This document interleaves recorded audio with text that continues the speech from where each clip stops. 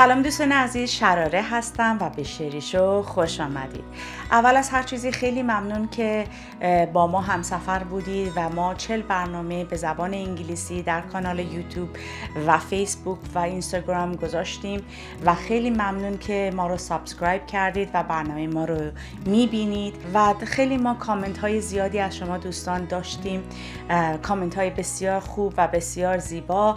یه سری از شما عزیزان از ما درخواست کردید که برنامه ها رو به زبان فارسی بذاریم. قرار شده که برنامه ها رو به دو بخش بکنیم به زبان فارسی و به زبان انگلیسی چون چون شما عزیزان درخواست زیادی کرده بودید.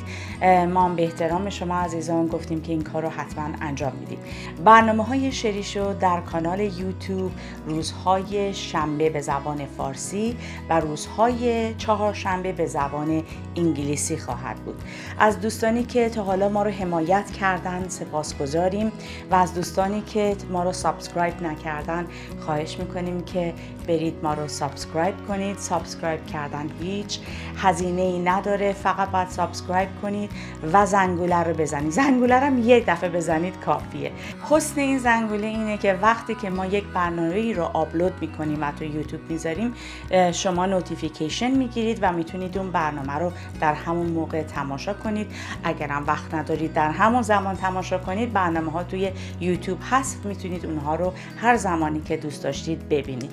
خب امیدواریم که این برنامه های آشپزی و مسافرت در سر سر کانادا و امیدواریم در آینده بعد از کووید بتونیم جاهای مختلف دنیا هم بریم و اونجاها رو به شما نشون بدیم.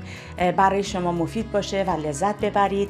همینطور که گفتم کسانی که subscribe نکردن و خواهش می‌کنیم که ما رو حمایت کنید و subscribe بکنید. امیدوارم که لبتون خندون باشه و دلتون شاد. به امید دیدار تا برنامه آینده.